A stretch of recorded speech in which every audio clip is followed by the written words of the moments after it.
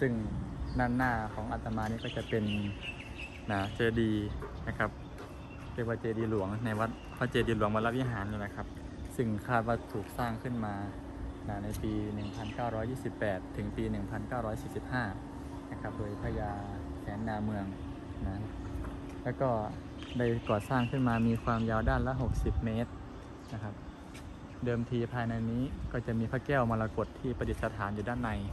เมื่อ มีสงครามเกิดขึ้นโดน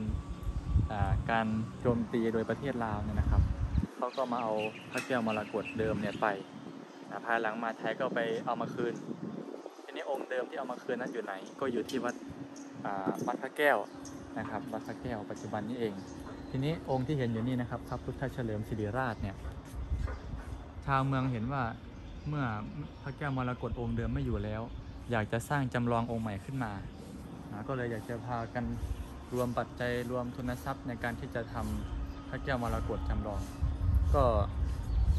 ไม่ได้สักทีนะครับพระอาจารย์หลวงพ่อวิริยังสิรินทโรเนี่ยนะครับ